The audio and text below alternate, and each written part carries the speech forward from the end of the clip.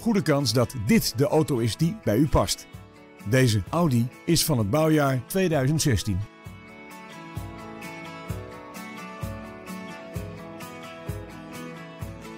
De dieselmotor geeft deze auto sportieve prestaties en zorgt voor een laag brandstofverbruik.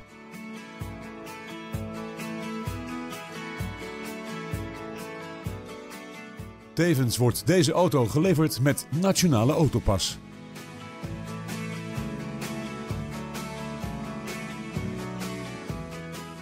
Hebt u interesse in deze auto? Neem nu contact met ons op en we zetten hem klaar voor een proefrit.